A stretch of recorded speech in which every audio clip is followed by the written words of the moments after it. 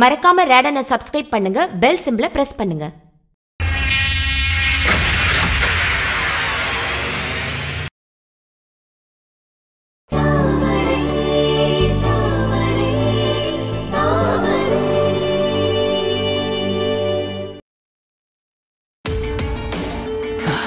என்னன்னாச்சு அந்த கனகதுர்காவோட வேலையா? இல்ல. யாருன்னு ஒண்ணு அடிச்சது பன்னீர். யாரு? பன்னீரா? நேத்தரோட அத்தை பையனா? அவனே தான்ப்பா என்ன கொலை பண்றதுக்கு கத்தியோட வந்தான் ஐயோ. வந்தவன் பண்ணிரு தானா? அவனே தான்டா நான் தான் என் ரெண்டு கண்ணால பார்த்தேன் அ- அவன் ஜெயிலில் இருக்கான். அவன் எப்படி வர முடியும்? ஜெயில இருந்து தப்பிச்சிருக்கான்டா. என்ன கொலை பண்ணணுங்கிற வெறியோட வந்திருக்கான். மாமா நீங்க அவனை போலீஸ்ல பிடிச்சு ஒப்படைச்சிருக்கணும். என்னால தனியால அவனை சமாளிக்க முடியலமா நல்ல- வேலை கொஞ்சம் மிஸ் ஆயிருந்தா என் உயிரே போயிருக்கும். அவன் கூட நான் சண்டை போட்டதுல அவன் கத்தி கீழே விழுந்துருச்சு. கத்தி கீழே விழுந்தா அவன் ஓடி போயிட்டான். மாமா நேத்ராவை முதல்ல ஜாகிரதையா இருக்க சொல்லணும். நான் நேத்ராக்கு ஃபோன் பண்ணி சொல்லிட்டேன். அது மட்டும் இல்ல போலீஸ் கண்ட்ரோல் ரூமுக்கு ஃபோன் பண்ணிட்டேன். அவங்க அவனை தேடிட்டு இருக்காங்க. நேத்ரா வீட்டுக்கும் போலீஸ் ப்ரொடெக்ஷன் போட்டிருக்காங்க. ஆமா குழந்தைங்க உள்ள தூங்கிட்டு இருக்கானா? குழந்தைய நம்ம பத்திரமா பார்த்துக்கணும். குழந்தை மேல ஒரு சின்ன கீறல் பட்டாலும் நேத்ராக்கு நாம தான் பதில் சொல்லி ஆகணும். அண்ணே நாங்க தான் இத்தனை பேர் இருக்கோம்ல யார் உள்ள வந்துருவா? சரி அண்ணே. அண்ணே ஏன் எந்திரிக்கிற? உட்காரு. என்னமோ தெரியல. ஒரு மாதிரியா இருக்கு. குழந்தை முகத்தை பார்த்தாதான் எனக்கு கொஞ்சம் நிம்மதியா இருக்கும். நான் பார்த்து அண்ணே நீ இருண்ணே. அக்கா குழந்தைய தூக்கிட்டு வா. ஆ சரி. கை இப்படி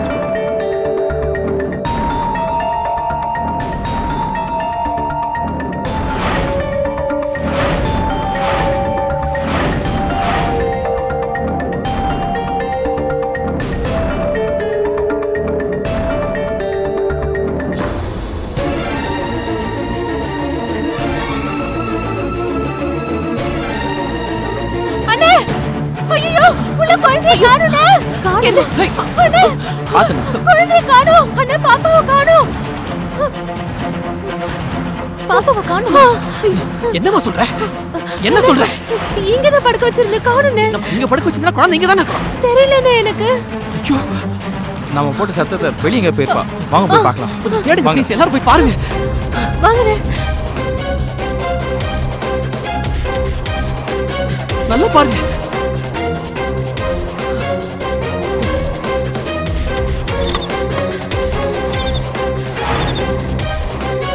பாப்பா? பாப்பா? பாப்பா? பாப்பா? பாப்பா? இருக்காளா?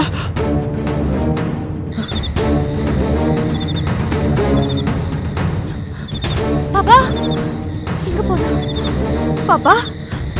பாப்பா? குழந்தை இருக்காளா? யாராவது ஏதாவது சொல்லுங்க.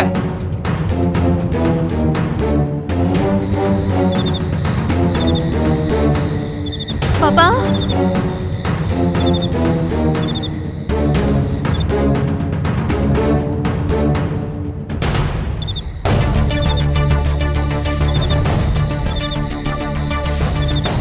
ஐயோ எங்க போனான்னு தெரியலையே. என்னம்மா குழந்தை இருக்காளா அவ எங்கேயுமே இல்ல மாமா. என்னம்மா சொல்ற? வா. ஏய் குழந்தை இருக்காளடா டேய் ராஜுவா எங்கேயுமே காணோம்டா. என்னம்மா சொல்றீங்க? ஐயோ இங்க இல்லனா எனக்கு பயமா இருக்குடா. அப்படின்னா இதெல்லாம் அந்த பன்னீரோட வேலையா தான் இருக்கும். அந்த படுபாவி என்ன கொலை பண்றதுக்காக வந்தா? அது முடியாததுனால குழந்தையை கடத்திட்டு போயிருக்கான். ஐயோ கடவுளே. அவனே ஒரு கொலைக்காரன். அவன் கையில சின்ன குழந்தை கிடைச்சா அந்த குழந்தையோட கதி என்ன ஆகும்? ஐயோ ஐயோ பயமா இருக்கு. நான் இப்ப என்ன பதில் சொல்லுவேன்? ஐயோ ஆண்டவா.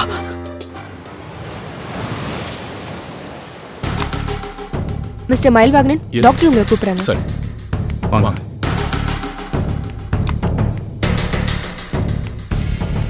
வாங்க. வாங்க வாங்க. வாங்கப்பா. உட்காருங்க. உட்காருங்க. தேங்க்யூ சார் யாருக்கு பார்க்கணும்? எனக்கு தான் டாக்டர். என்ன பிரச்சனை? வயிறு வலின்னு ஹாஸ்பிட்டலுக்கு போனேன். நாலு நாள் அட்மிட் ஆயிருந்தேன். அப்புறம் டிஸ்சார்ஜ் ஆகி வீட்டுக்கு போயிட்டேன். வீட்டுக்கு வந்தா மறுபடியும் வலி வந்துருச்சு சார் என்னன்னு பார்த்தா வயித்துல ஒரு மார்க் இருந்தது. அப்படியா? காட்டுங்க.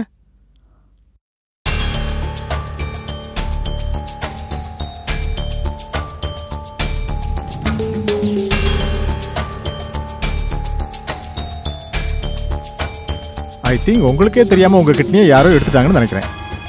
எப்படி சார் அதை அவ்வளோ கரெக்டாக சொல்கிறீங்க கிட்னி டிரான்ஸ்பிளான்டேஷனுக்கு இந்த இடத்துல தான் ஆப்ரேஷன் பண்ணுவாங்க. எந்த ஹாஸ்பிட்டல்னு சொன்னீங்க? கஸ்தூரி ஹாஸ்பிட்டல்.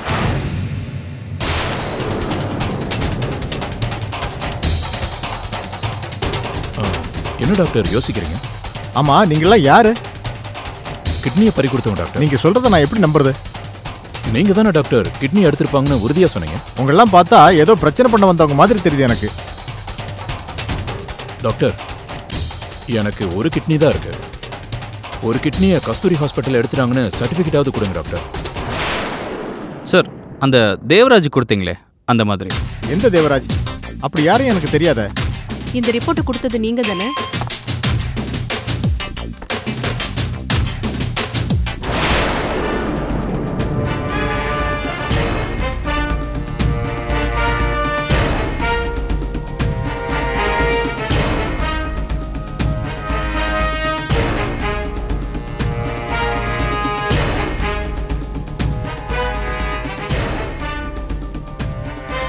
என்ன டாக்டர் பாக்குறீங்க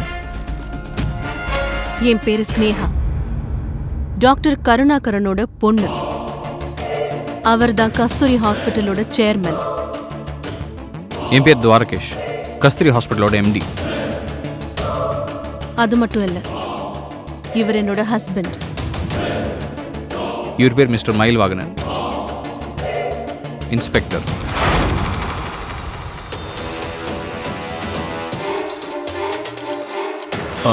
டாக்டர். இப்போ சொல்லுங்க. தேவராஜுக்கு என்ன நடந்தது? இன்ஸ்பெக்டர் எனக்கு ஒன்றும் தெரியாது. தேவராஜ் என்கிட்ட வந்தான் கஸ்தூரி ஹாஸ்பிட்டலில் கிட்னி திருடிட்டாங்கன்னு சொன்னான். நான் செக் பண்ணி பார்த்தேன். அவனுக்கு ஒரு கிட்னி தான் இருந்துச்சு. உங்களுக்கு இருக்கிற மாதிரியே அவனுக்கும் ஆப்ரேஷன் பண்ண மார்க் இருந்துச்சு.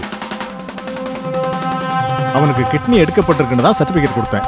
ஆனால் அதை யார் எடுத்தாங்க? ஒருவேளை அவன் பொய் சொல்கிறானா இல்லை அவனுக்கு தெரியாமல் தான் எடுத்தாங்களான்னு எனக்கு எதுவும் தெரியாது சார். டாக்டர். கஸ்தூரி ஹாஸ்பிட்டல் பத்தி உங்களுக்கு நல்லாவே தெரிஞ்சிருக்கும். யாரோ ஒருத்தர் வந்து எங்க ஹாஸ்பிட்டல் பத்தி உங்ககிட்ட புகார் சொன்னாங்கன்னா நீங்க எங்களுக்கு இன்ஃபார்ம் பண்ணிருக்கணும்ல? ஏன் பண்ணல? ஒருத்தரோட கிட்னியை அவங்களுக்கே தெரியாம எடுக்கிறதுக்கு வாய்ப்பு ரொம்ப கம்மி இல்லை? ஒரு டாக்டரா உங்களுக்கு அது நல்லாவே தெரியும்.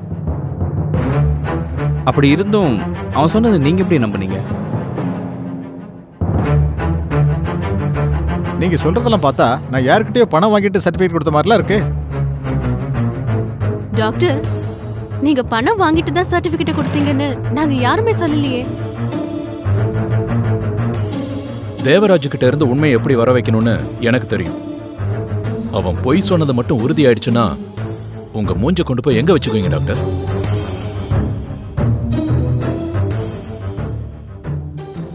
டாக்டர் வசதி இல்லாத நோயாளிங்களுக்கு இலவசமாக மருத்துவ உதவி செஞ்சுட்டு இருந்தோம் அது இப்போ தடைப்பட்டு போயிருக்கு. அதுக்கு காரணம் யாராக இருந்தாலும் அந்த ஏழைங்களோட சாபம் அவங்கள சும்மா விடாது. அண்ணா வாங்க போலாம். டாக்டர் இப்ப போறோம். திரும்பவும் வருவோம். இங்கே பாருங்க டாக்டர். கடவுள் படைக்கிற உயிரை காப்பாற்றுறவங்க தான் டாக்டர்ஸ். அதனால தான் கடவுளுக்கு அடுத்தபடியாக டாக்டர்ஸை நம்புகிறாங்க ஒரு நல்ல டாக்டர் பொய் சொல்ல மாட்டாங்க. ஒரு சிலரோட தப்பால் எல்லாருக்குமே கெட்ட பேர். ஆனால் நீங்கள் ரொம்ப நல்லவர்னு உங்கள் முகத்தை பார்த்தாலே தெரியுது. நாங்கள் வரோம். வா.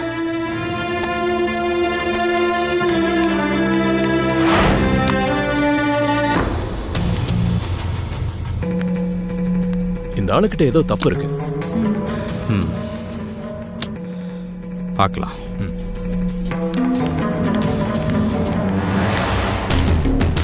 இதுக்கெல்லாம் நான் மட்டும் காரணம் இல்லை. உள்ள இருக்க ஹாபர் மசில மணி போட்ட பிளான் படிதான். எல்லாமே பெர்ஃபெக்டா முடிஞ்சிச்சு.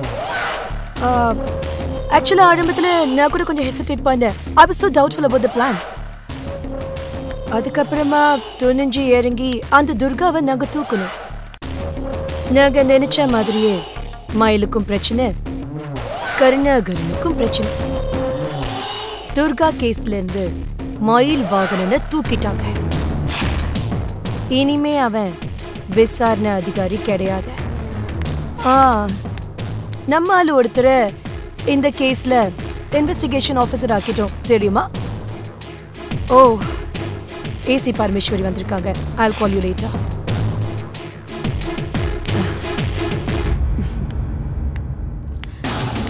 வெல்கம் வாங்க.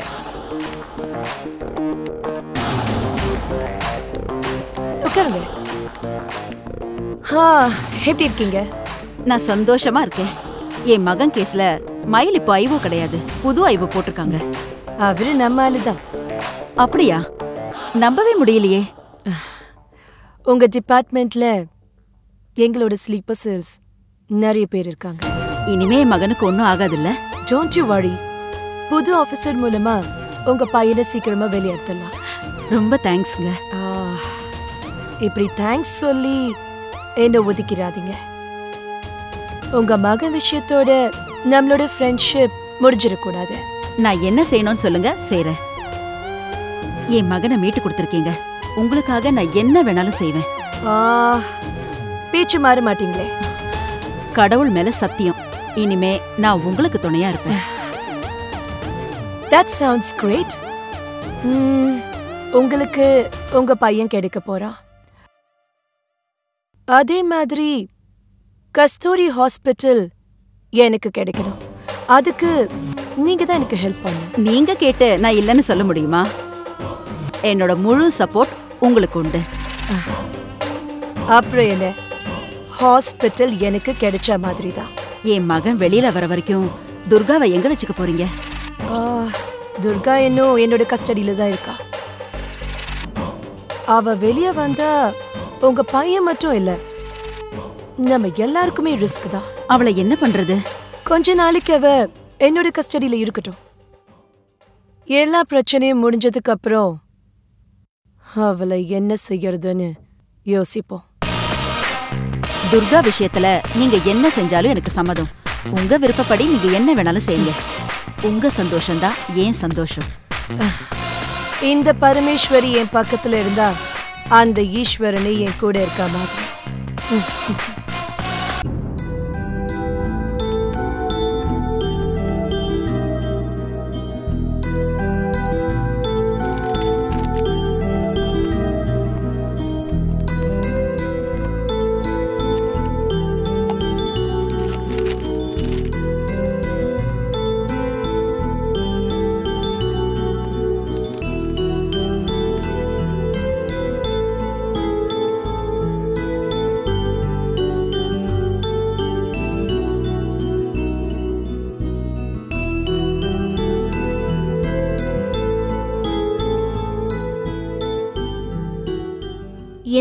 காஃபி குடிக்கவே இல்ல.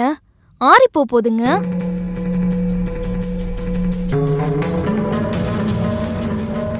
ஏங்க உங்களதாங்க.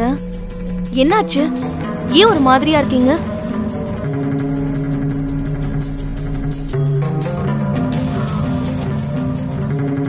உடம்புக்கு ஏதாவது பண்ணுதா? ஏதாவது பிரச்சனையா? கொஞ்சம் தனியா இருக்கு மயிலு என்னாச்சு? ஏன் பதற்றமா இருக்க? நானும் உன்னை காலில இருந்து பார்த்துட்டு தான் இருக்கேன். உன் நடவடிக்கை சரியில்லையேப்பா. இன்னும் டியூட்டி கூட கிளம்பல. காலையில இருந்து இங்கேயே உட்காந்துருக்காரு டீ கூட இன்னும் சாப்பிடல.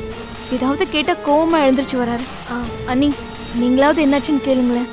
டேய் மயில ஸ்டேஷனுக்கு போல? இல்ல. லீவ் போட்டிருக்கியா? ம். ஏன்பா உடம்பு ஏதாவது சரியில்லையா? அதெல்லாம் ஒண்ணும் இல்ல.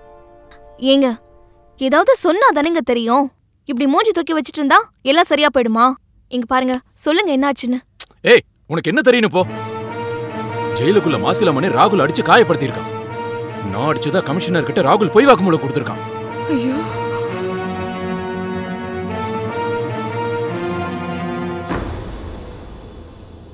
என்னோட சொந்த தம்பி கிட்ட கூட நான் இவ்வளவு பொறுமையா இருந்ததில்ல. ராகுல் கிட்ட ரொம்ப மென்மையா நடந்துக்கிட்டேன். அவனை திருத்தி ஒரு நல்ல வழிக்கு கொண்டு வரணும்னு நினைச்சேன். இந்த சந்தர்ப்பத்தை பயன்படுத்தி மாசிலாமணி என்ன பழி வாங்கிட்டான். அது எப்படி மயிலு? அவ அடிச்சிட்டு ஓ மேல பழி போடுறான் பிளான் பண்ணிட்டாங்க மாமா. என்னால எதையும் நிரூபிக்க முடியல. ஏன்பா? இதுல மாசிலா மணிக்கு என்ன லாபம்? மா இப்ப என்னால தான் அவன் ஜெயில இருக்கான். ராகுல வச்சு என்னை அவமானப்படுத்தலாம்னு நினைக்கிறான். ராகுல் சொன்னதை கமிஷனர் நம்பிட்டாரா?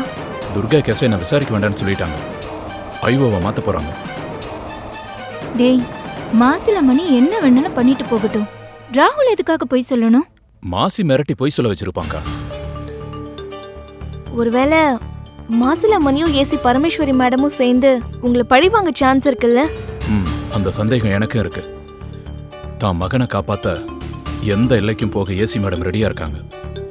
துர்கா கேஸ்ல விசாரணை அதிகாரியை மாத்திட்டா? அந்த பொண்ணுக்கு நியாயம் கிடைக்குமா? கண்டிப்பா கிடைக்காது மாமா. புதுசா வர ஆபீசர் ஏசிக்கு சப்போர்ட்டா நடந்துக்க வாய்ப்பு இருக்கு. துர்காவை மிரட்டி ஆதாரங்களை அழிச்சு எந்த தப்பும் நடக்கலன்னு நிரூபிச்சிடுவாங்க. அப்புறம் ராகுல் தண்டனையில இருந்து தப்பிச்சிடுவான். நீங்க சொல்ற மாதிரி நடந்தா துர்கா மனசுடைஞ்சு போயிடுவாளே. அவளுக்கு பண்ண அநீதிக்கு தீர்வு கிடைக்காம போனா இத்தனை நாள் போராடினதுக்கு அர்த்தமே இல்லாம போயிடுமே. விடமாட்டேன். துர்காவுக்கு நியாயம் கிடைக்கிற வரைக்கும் நான் ஓய மாட்டேன். இது ஒரு பொண்ணோட கற்பு சம்பந்தப்பட்ட விஷயம். ஏசிக்கு வேணா அவங்க பையன் பெருசா இருக்கலாம். ஆனா எனக்கு சட்டம் தான் முக்கியம். என்ன இந்த கேஸ்ல இருந்து விலக்கி வச்சாலும் சட்ட போராட்டம் நடத்தி துர்காவுக்கு நியாயம் கிடைக்க வைப்பேன். ராகுலுக்கு தண்டனை வாங்கி கொடுத்து அது மூலமா அவன் செஞ்சது தப்புன்னு நான் அவனுக்கு உணர்த்துவேன். ஏங்க மாசிலம்மணி ஜெயிலுக்கு போக நீங்க மட்டும் காரணம் இல்ல. ஏசியம் தானே காரணம். ஆனா இன்னைக்கு தன் மகனுக்காக அதே மாசிலம்மணியோட கை கோத்துட்டாங்க. உங்களுக்கு எதிரா மாசிலம்மணி ஏசி கனகதுர்கான்னு ஒரு பெரிய கூட்டமே இருக்கு. அவங்கள எதிர்த்து ஒத்தாலா உங்களால ஜெயிக்க முடியுமா? ஏன்? என் மகனால முடியாதா? என் பையனால நிச்சயம் முடியும். எத்தனை பேர் எதிர்த்து நின்னாலும் இவன் பக்கம் நியாயம் இருக்கு. இந்த தர்ம யுத்தத்துல நிச்சயமா என் பையன் ஜெயிப்பான். ஆமா மயில நீ மனசை தளர விட்டுறாத. பொண்ணுங்களை என்ன வேணாலும் செய்யலாம்.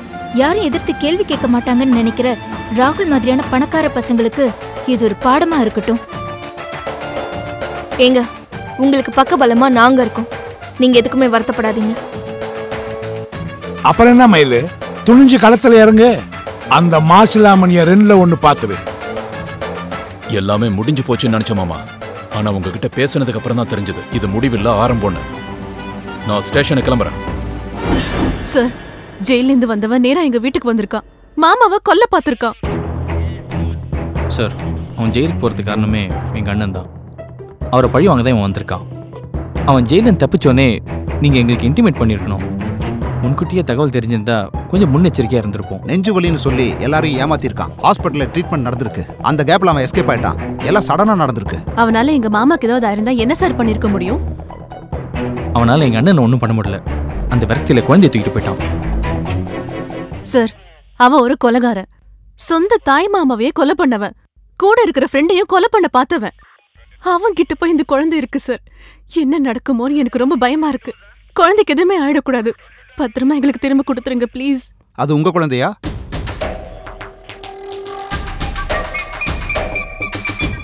இல்ல சார். சோ ராஜீவோட குழந்தைன்னு தெரிஞ்சு பிளான் பண்ணி தூக்கியிருக்கான். அது எங்கள் அண்ணன் குழந்தை இல்லை சார். அப்படின்னா யார் குழந்தை அது? பெத்தவங்க அந்த குழந்தைய ரோட்ல போட்டு போயிட்டாங்க.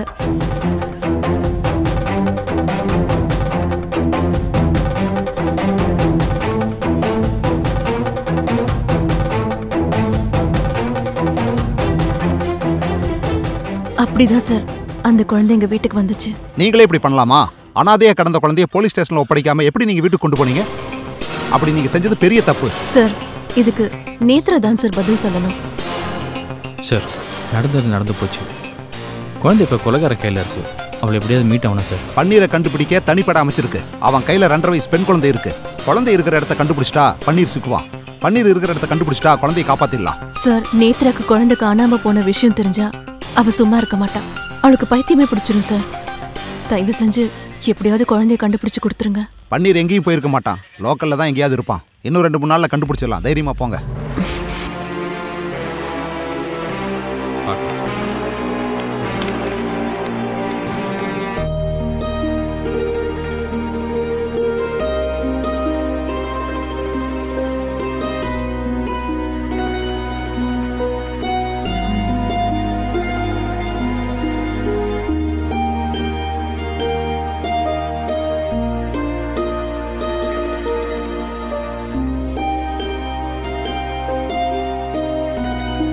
நேத்ரா இந்தாம்மா. சாப்பிடாம அப்படியே திருப்பி கொண்டு வந்துடாத. பசங்களுக்கு கிளாஸ் எடுக்கும்போது பசியில மயங்கி விழுந்துடாத. அப்புறம் உனக்கு தான் அசிங்கம். ம்.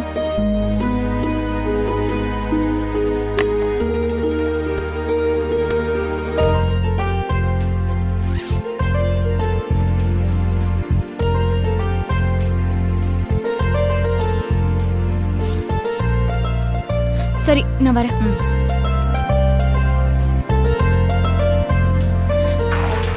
அம்மா நீங்களும் டிவி பார்க்கல ஏன் வேஸ்டா ஓடிட்டு இருக்க மறந்தே போச்சுமா? ஆமா எப்ப பார்த்தாலும் இதையே சொல்லுங்க. சரி ஆஃப் பண்ணு. ஒரு முக்கிய செய்தி. என்ன நியூஸ் சிறையில் இருந்து தப்பித்த கொலை குற்றவாளி பன்னீர் வலசரவாக்கத்தில் ஒரு வீட்டில் இருந்த குழந்தையை கடத்தி சென்றான். இது தொடர்பாக ராஜீவ் என்பவர் போலீசில் புகார் அளித்துள்ளார். போலீசார் தீவிரமாக தேடி வருகின்றனர். நேத்ரா இது என்னடி புது வம்பா இருக்கு? இவன் எப்படி வெளியில வந்தான் குழந்தைய பத்தி இவனுக்கு எப்படி தெரிய வந்தது? எனக்கு ஒரே குழப்பமா இருக்கு. குழந்தை இவன்கிட்ட மாட்டிக்கிட்டு என்ன கஷ்டப்படுறானோ தெரியலையே. ஐயோ. விடுமா. ஐயோ.